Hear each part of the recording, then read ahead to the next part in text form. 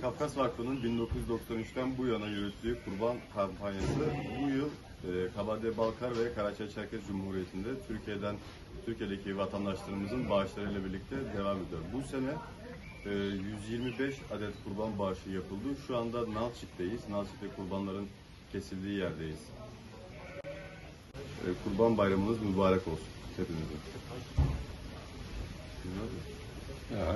да, если для уба Аллахмжиема, сейчас министра Турсопсана, Türkiye'm asbab sınırı, Aberdeen Baltar Respublikam din okşana sınırı, yazı da onu açıra, kat kurağa şahı manzar, tuju mabdeyin çıkmışçı hem bağuşuna ve devranca, hafızı karıgı aşı, Allah hamşı kurbanı.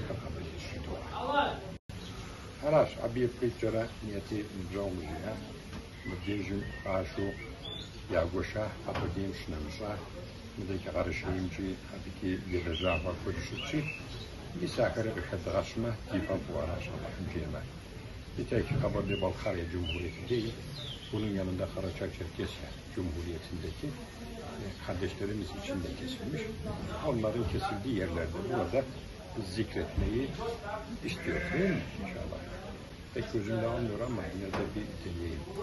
Kafkasya'da kesilmek üzere vakfımıza bağışlarınızı kurbanınız Karaçay Çerkes Cumhuriyeti'nde Zelençuk şehrinde kesilmiş ve ihtiyaç sahiplerine Filistin'den Karaçay Çerkes Cumhuriyeti'ne gelen 46 Filistinli aile yapılmış ve teslim edilmiştir.